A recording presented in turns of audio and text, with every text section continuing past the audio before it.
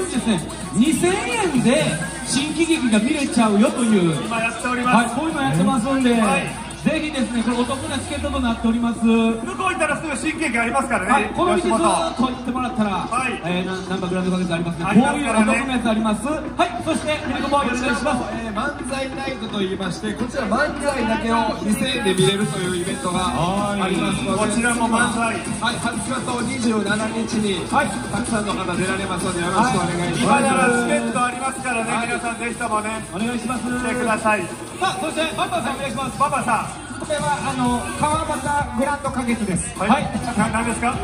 それだけちょっと違います。川端社長の新喜劇。はいはいはい。誰ですか？え川端さんって誰ですか？座長や。あ社長。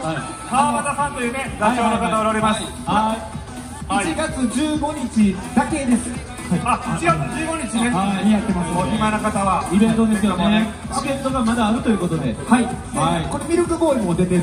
ミルクボーイも出ております。あ、ミルクボーイ出てんね、すごいね。皆さいやー、いいですね。ん縁起がいいですねこれね。はい。えということで、あの、ナンバーグランド花月はお昼公演以外にもこういったね、さまざまな公演夜にやってるので、そうそうそう。はい。ぜひですね、ホームページとかでチェックしていただいて、遊びに来ていただきたいなと。ーナンバーグランド花月の前にも漫才劇場というね若手の劇場がありますからそこも来てくださいね。はいぜひね。ギなんかやってますよ。はい、え毎日公演何かしらやってますんで、ーありがとうございますはい、皆さん。よろしくお願いします。さあ、皆さん何かお知らせなど他ありますか？お知らせ何かありますか？はい、大丈夫ですか？はい。僕は大丈夫はい、ミルクボーイどうですか、はい。僕らもはい。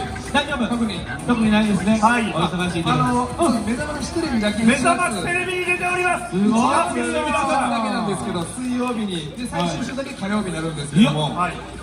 はい、やあのー、そうなんです。僕今日のワンコの後にいつもコメントをこの前も振ってもらったんですけど、はい。めちゃくちゃ滑りまして。はい。朝から？次の週こそ滑らんようにしようと思ってますので、はい。わかりました。今日のワンコ終わりの僕のコメントもまた気にしておいてもらったらなと思いますのいでやすごい。今日の小浜ね、めちゃくちゃ難しいんですよ。今日のワンコの終わった後10秒で何か言10ってください秒しかも。激ムズの。めちゃくちゃ難しい。無茶ぶりやね。はい頑張ってくださいねはい、頑張ってください。とはいいうことでございまして、これからも、えー、吉本興業よろしくお願いしますということで、本日のイベントは以上です。皆さんどうもありががとうございまし。したた闇営業ではありません皆さんこれは闇営業ではありません歴史とした吉本を通した営業でございますまた見に来てくださいね。